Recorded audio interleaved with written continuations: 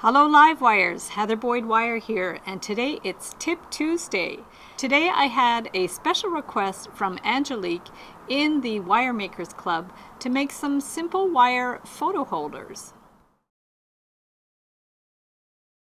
I'm using 12 gauge aluminum wire, 16 gauge copper wire, my tools, I have the Beadalon looping pliers, I have some round forms and a cone, so these are my little pill bottles. I call them my babushka dolls to get all the different round forms.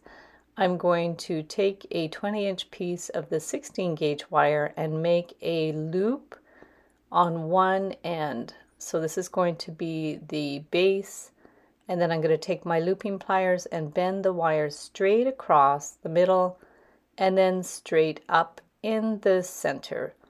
This will create a simple base for our photo holder that it'll be able to stand. You can make any adjustments that you need so it will stand well and just bring out that other wire a little bit so it's flat and do a little adjusting. You can clip the end so it's more round and also more finished. And then we're going to get our flat pliers and bend it across at a right angle. Then take your cone, this is a ring display cone.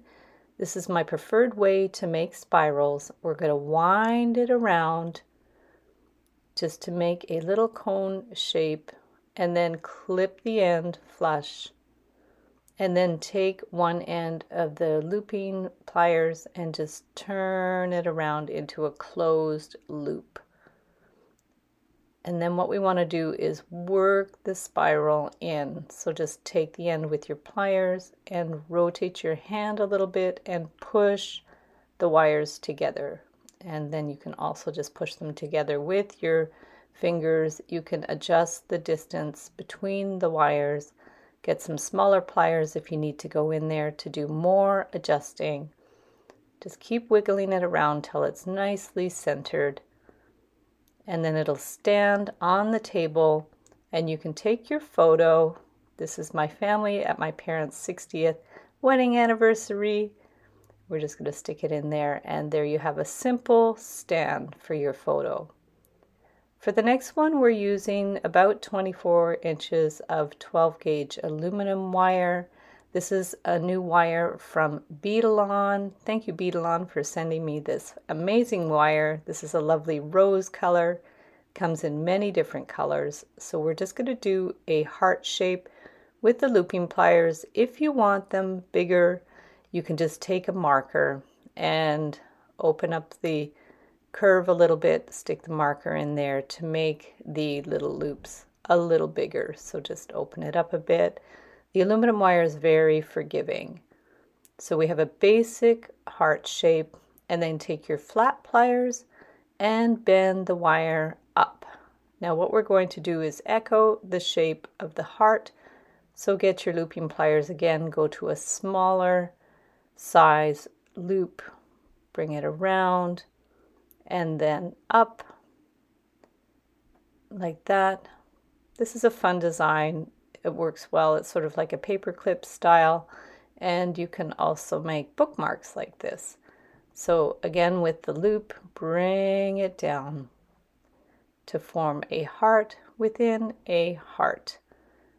Push it right down, smooth it out with your fingers, flat pliers again to push it up again. We're going to do one more heart within a heart.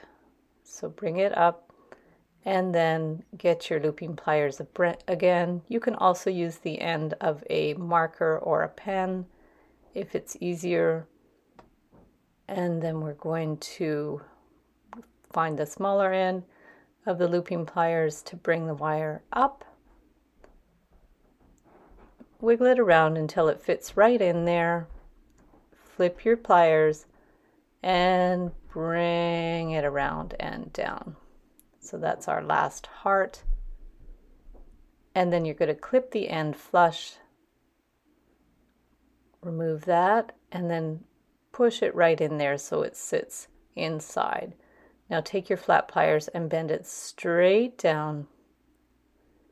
Adjust it and then we're going to bend it out at a angle. Start a little loop with your round pliers or the looping pliers. Just bring it around to get that loop started. And then I'm going to get my ring cone and we're going to form a spiral. So just hold it firmly, bring the wire around, remove the cone, put a larger round form if you want it larger it's probably better to do a wider base so it'll be balanced. And then you can fix the spiral as we did previously where you just push the wires together. Just gently push them together. You can spread that out a little bit to make it wider and do any little adjusting that you need. So the center wire is right in the middle and it's balanced and it stands and then you can just add your photo right there. So for the last one I did one with 18 gauge wire. So if you only have a smaller wire this works well. So get a larger pill bottle bring the wire around and crisscross it and do a twist. So we're going to just twist those wires together.